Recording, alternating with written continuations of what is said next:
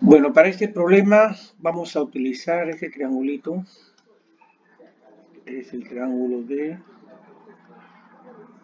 Es un triángulo rectángulo donde los catetos son de 25, 24 y 7. O sea, 25K, 24K y 7K. Donde los ángulos serían de 74 y 16.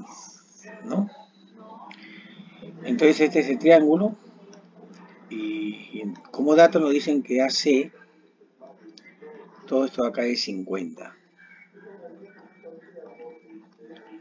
Ya, E sería 50. Entonces acá sería 37 grados y acá también sería 37 grados, ¿no? Porque aquí tenemos 16 grados, entonces el otro sería 74 y como esto es, pasa por el centro, CE es una bisectriz. Ahora, eh, si acá es 16 y esto es 61, este ángulo sería 45 grados. Este 61 sería la suma de 16 y 45. Entonces acá también sería 45 grados. Ahora, eh, como acá es 50, entonces para que esto sea 50, acá sería 2. 2 por 25 50, por lo tanto, a 74 se lo pone 48. Eh, perdón, a 16 se lo pone 7K, es decir, todo esto de acá, el segmento BC sería 14. Ahora, para calcular el área sombreada, vamos a aprovechar estos ángulos notables de 45 y 37. Para eso trazamos la perpendicular del punto E hacia el lado BC.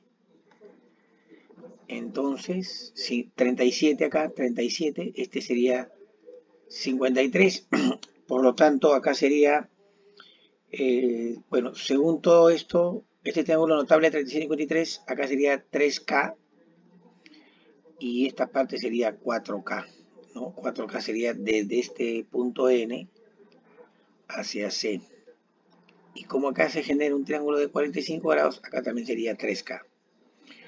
Diremos entonces que 7K es igual a 14 entonces K es igual a 2. Ahora, el área buscada sería, la base sería 14 por la altura, que sería 3K, pero como K vale 2, sería por 6, entre 2, ¿no? Y acá se elimina eh, esto acá y el área sería 14 multiplicado por 3, el área X sería 42, solución del problema.